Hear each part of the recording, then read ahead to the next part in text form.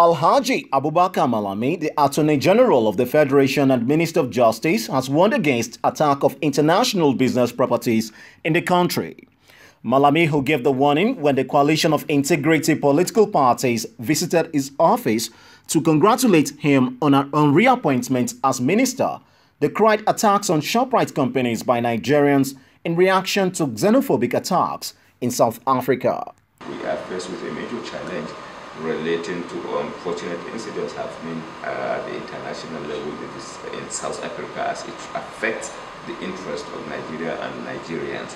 So that makes international collaboration, international uh, protection of the rights of Nigerian citizens equally of uh, an issue of paramount importance that comes to immediate, uh, I mean, that um, arises immediately upon the assumption of office. So by and large, within the context of economy, within the context of anti-corruption and international diplomacy, there are immediate things that uh, uh, poses a challenge which we have a responsibility to confront uh, frontally.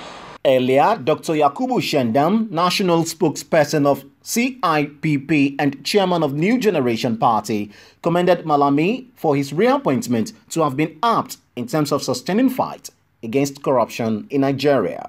Because Nigeria, we can't continue like this. We are suffering because of loot.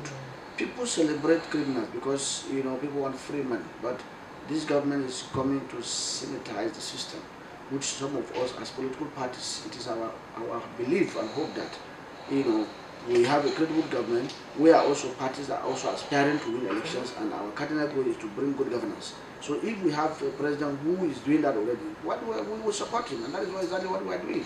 We are giving the president 100% support, and we are encouraging the minister to not fear. We are here with him. We are political party leaders across Nigeria. We have the people, so you should not fear. Anybody who has eaten Nigerian money should be prosecuted and thrown into jail. There's no time to waste. They need to be there and then not only thrown into jail, reclaim this money and put it on education, roads, healthcare. You know, that is what we're looking for.